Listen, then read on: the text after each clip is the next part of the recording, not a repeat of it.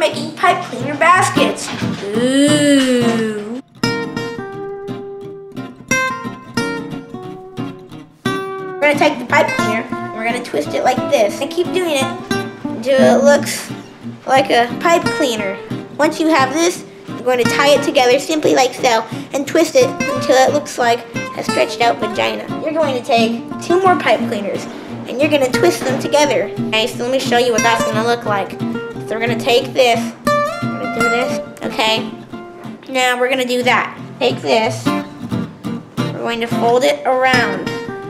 Keep folding it.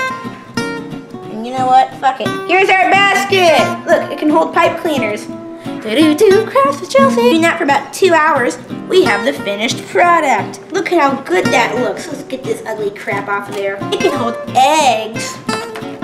Isn't just delicious? Nom nom nom. See you next time on Crafts with Chelsea.